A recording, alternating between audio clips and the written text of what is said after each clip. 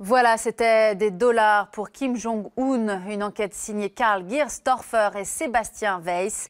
À revoir bien sûr comme toujours pendant 7 jours sur arte.tv. Voilà pour euh, ces trois films qui nous ont permis de pénétrer un peu ce pays fermé qu'est la Corée du Nord.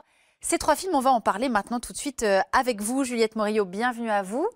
Merci d'avoir accepté d'être euh, ce soir l'invité de Théma. Vous êtes une grande spécialiste euh, de cette péninsule coréenne vous vous rendez, je crois, régulièrement depuis le début des années 80. Vous étiez encore très récemment en Corée du Nord en novembre dernier. Alors vous êtes l'auteur de nombreux livres sur ce pays étrange. Évadé de Corée du Nord, publié en 2004. La Corée du Nord en 100 questions en 2016. Et puis euh, ce dernier livre qui vient de sortir, co-rédigé avec Dorian Malovic, Le Monde selon Kim Jong-un, euh, publié aux éditions Robert Laffont, une enquête euh, exceptionnelle que vous avez réalisée à l'occasion justement de, plusieurs voyages là-bas. Alors c'est la première question qu'on avait envie de vous poser. Comment est-ce qu'on peut travailler là-bas quand on est comme vous, une auteure, une journaliste française? Qu'est-ce qu'on vous laisse vraiment voir de ce pays? Alors en fait, mes relations avec la Corée, je dis bien la Corée en général, sont anciennes. Elles remontent en effet euh, à 1977. Donc j'ai une longue euh, histoire avec les deux Corées. Et je pense qu'il faut, ce qu'il faut, c'est gagner la confiance euh, des Nord-Coréens. C'est-à-dire qu'au cours de toutes ces années, ils ont simplement vu que je ne mentais pas, que je ne racontais que ce que je voyais. Et quand on est simplement fair-play, qu'on explique l'histoire, ils ne me demandent pas d'être pro-nord-coréenne, ils ne me demandent pas de les défendre, euh, ils me demandent simplement d'expliquer euh, leur point de vue et d'expliquer euh, le contexte historique, par, par exemple. C'est ce que je fais. Et quand je suis en Corée du Nord, l'énorme avantage que j'ai, bien évidemment... C'est que vous parlez la langue. C'est que je parle la langue. Donc, j'ai pas besoin d'interprète. Et finalement, on me laisse relativement d'autonomie. Alors, souvent, je suis accompagnée.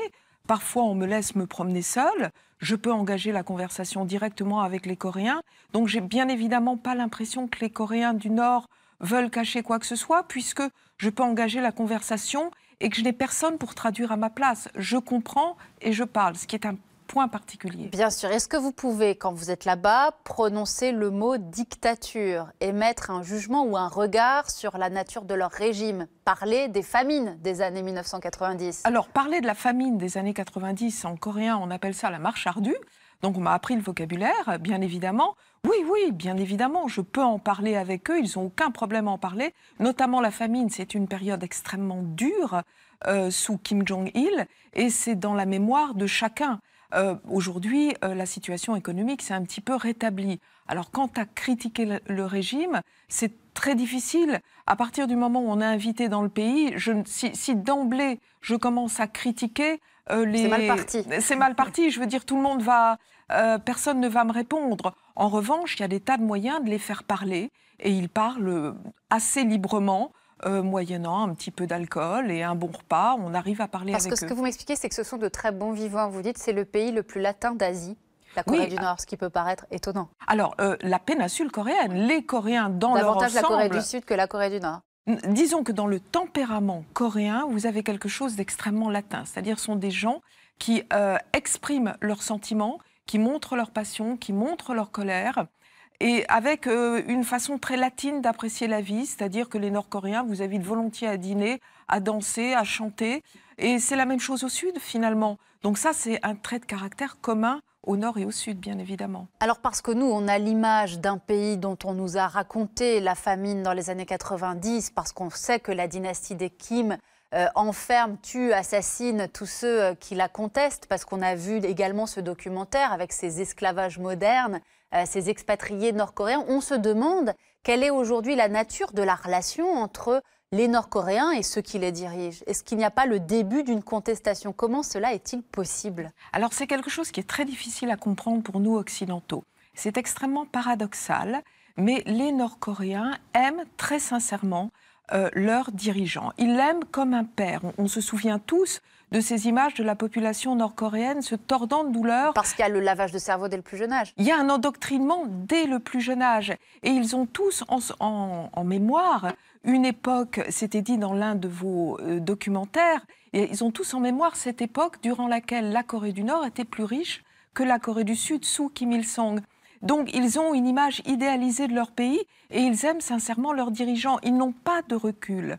J'ai rencontré une Nord-Coréenne en Corée du Sud qui me disait euh, très naturellement, quand j'étais en Corée du Nord, je croyais que mon pays était une démocratie parce que mon pays s'appelle République populaire démocratique de Corée. Alors ce qu'on voit très bien quand même dans, dans ce documentaire sur les expatriés, les travailleurs nord-coréens, avec notamment le témoignage de M.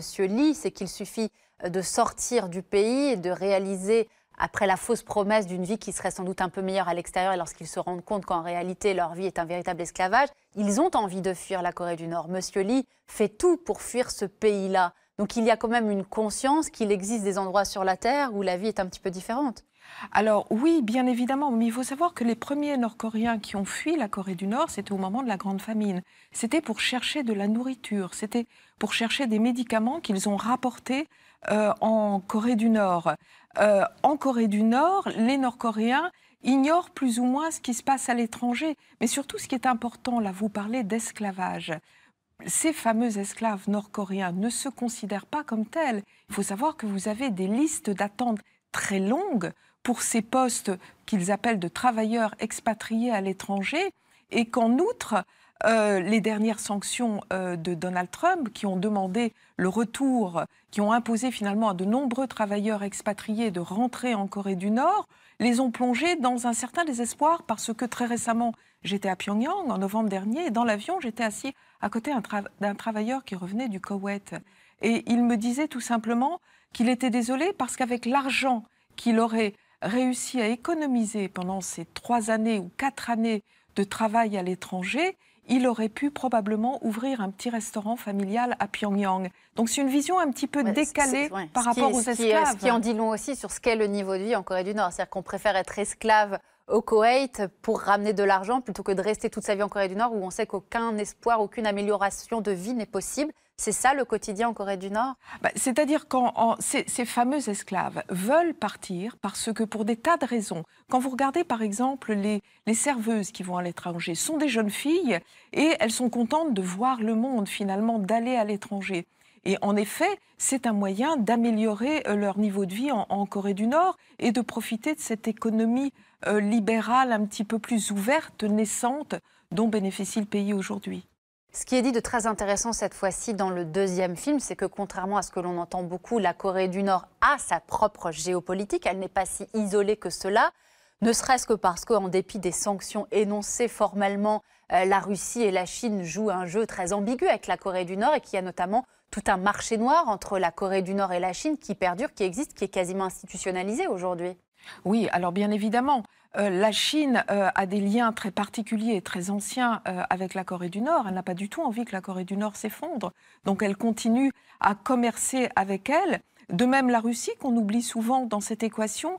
Mais je dirais que la Corée du Nord. il dit dans le deuxième film qu'elle a largement contribué à ce que la Corée du Nord soit très bien équipée sur un plan militaire et, nucléaire, puisqu'elle a fourni notamment les premiers missiles et ses experts à la chute, à la chute de l'Union soviétique. Bien évidemment, mais aussi ce qui est important, c'est de comprendre que ce pays qu'on imagine totalement isolé a finalement des liens avec des tas de nations. Et je dirais tout simplement que les petits ruisseaux font les grandes rivières. La Corée du Nord a des liens avec de nombreuses nations africaines, avec de nombreuses nations en Asie du Sud-Est, et entre les, euh, le commerce plus ou moins légal avant les sanctions, c'est-à-dire vendre comme avec des dictatures, avec la Syrie, avec l'Iran, ce qui est avec la junte birmane, avec les, les des régimes quand même généralement peu recommandables c'est un petit peu le point commun entre tous ces alliés. Et vous avez du, commerce licite et illicite, c'est-à-dire vous avez également euh, trafic d'ivoire avec l'Afrique, vous avez euh, exportation de savoir-faire militaire, euh, échange de savoir-faire technologique avec l'Iran dans le domaine balistique, dans le domaine nucléaire également. Et ce qu'il faut d'ailleurs redouter, ce qui est dit à la fin du second film, c'est que si elle est d'autant plus, de plus en plus isolée, la Corée du Nord pourrait se mettre à vendre son savoir-faire nucléaire à des organisations non étatiques, à des organisations terroristes par exemple Et enfin, que faut-il penser de ce savoir-faire qu'elle est en train de développer dans le hacking? Alors pour l'instant, je pense que la Corée du Nord veut avant tout sa propre survie. Donc euh, s'allier plus ou moins vendre à des terroristes, je pense, n'est pas à l'ordre du jour du tout pour la Corée du Nord euh, aujourd'hui. En revanche, euh, le hacking, ils ont de véritables armées de hackers euh, qui, sont, euh, qui sortent des grandes universités nord-coréennes et qui ont réussi notamment à paralyser euh, des banques en Corée du Sud et qui sont extrêmement puissantes. Mais sont, les Nord-Coréens sont très avides de technologie. La dernière chose dans laquelle ils investissent énormément, je vais vous surprendre, sont les crypto-monnaies et les bitcoins. Donc il faut se méfier de tous ces moyens qu'ils ont finalement de rapporter de l'argent. Dernière question très brève. Vous arrivez à regarder ce pays avec quoi? Avec une sorte de sympathie, de curiosité? Est-ce que vous n'êtes pas frappé par un syndrome de Stockholm à force d'y aller et de les étudier depuis tant d'années? Disons que j'aime les Coréens euh, en général et que c'est la péninsule coréenne que j'aime et que je pense que pour combattre un pays éventuellement, il faut avant tout le comprendre et en avoir les éléments. Merci beaucoup, Juliette Morillo, d'avoir été ce soir l'invitée de Théma. Je rappelle le titre de votre dernier ouvrage, Le Monde selon Kim Jong-un, publié aux éditions Robert Laffont. Dans un instant, on va quitter euh, la Corée du Nord. Dernier film de notre soirée, la Suède, la prostitution et l'hypocrisie d'un système. À tout de suite.